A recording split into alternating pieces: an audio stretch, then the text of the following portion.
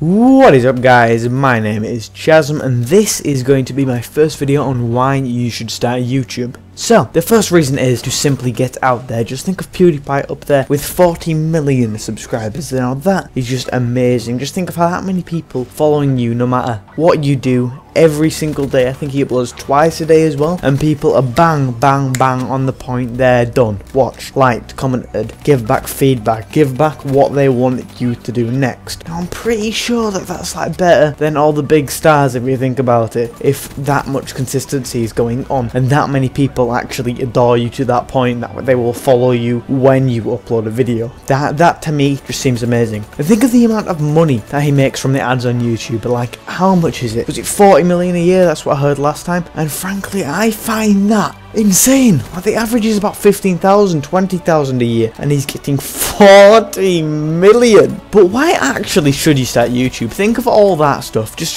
just scrap it now. We don't care about the money and the fame just at the moment, but it's simply to have fun. YouTube should be a hobby at the start until you maybe even hit 10k. That is when you should start thinking of it as more of a, you know, less as kind of a hobby and more towards a job. Like I believe it's like 10,000 views is about 10 pound. I I believe, $10 rather. So, you know, that's if you do that daily then that's going to be you know quite quite up there quite up there. About the having fun part you can meet a lot of new people from youtube. People are going to randomly come across your channel and be like whoa thanks for the tips. Whoa great video you know all this kind of stuff. Like ah hilarious. Funny funny. Obviously i'm doing this in a monotone voice. But you can talk to these people then you can make videos with these people. And you know possibly you two could grow together. Both get big together. Oh my god this is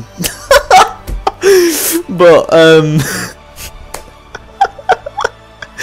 I'm so childish, it's unbelievable. But then you guys could become friends, you know? Honestly, just lifetime friendships that you, you, you die for. Oh god, this is not sounding very well, is it? Like, honestly, I'm just so childish, it's unbelievable. And you guys probably wouldn't have even realised that until you watched it. But the biggest, biggest thing from YouTube that you can take away is the skills that you learn. Just think of all all the different things that you can learn from YouTube. You can learn video editing, you can learn Photoshop, After Effects, Cinema 4D, all this stuff if you put your mind to it. Titling, tagging, communication, everything, even just video making in general. It's just an amazing thing to start if you have no time well, if you have time rather, that you could waste on YouTube instead of, you know, sitting at your TV playing Call of Duty. Stop for a second and try to do YouTube. Try to do commentary like I'm doing right now. Don't make little gameplays of, you know, ooh, 100 to 2 kill death ratio. I'm so amazing at the game because nobody compares compares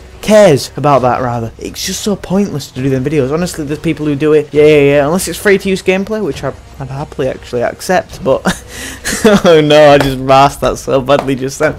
But guys, try to do a commentary. Want to see how it goes for you. And, you know, you could get big from YouTube, so goodbye.